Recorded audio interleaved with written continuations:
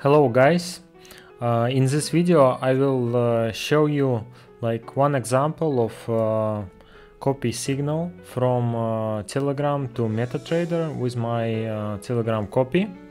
One of my client uh, asked me like he wanted to test signal that he have and he write me in the MQL ask me it will be this signal copy uh, to my MetaTrader.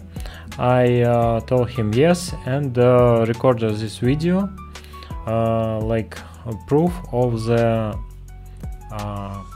work copy telegram copy utility hello um, record a video for you that you will be 100% sure that uh, this type of signal will be uh, easily copied to your account. Uh, first you what need to do it's uh, download this file on your uh, laptop and then authorizate by your telegram number and select the channel that you want copy. I selected this test channel for test this signal and uh, you will see I will take here and then add. It will be already here. Um, and that's all. After this uh, what you need to do is uh, install uh, file that I uh, already uh, gave you. And in the settings here chat ID you need to write these numbers of channels that you want to copy. Uh, I add number of my test channel, you see it's the same.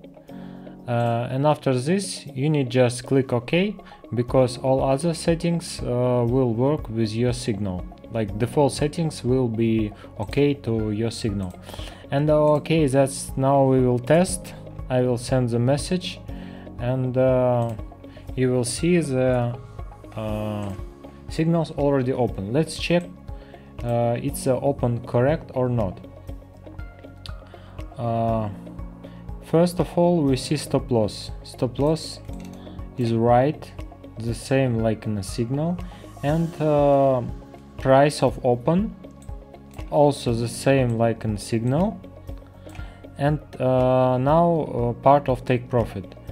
First take profit right second right third right and the last take profit is also right. And here comment. Comment you can uh, change any that you want. For example you can uh, write a comment the same of the uh, channel name. It will help you for understand which signal exactly uh, you copy. And thanks for watching.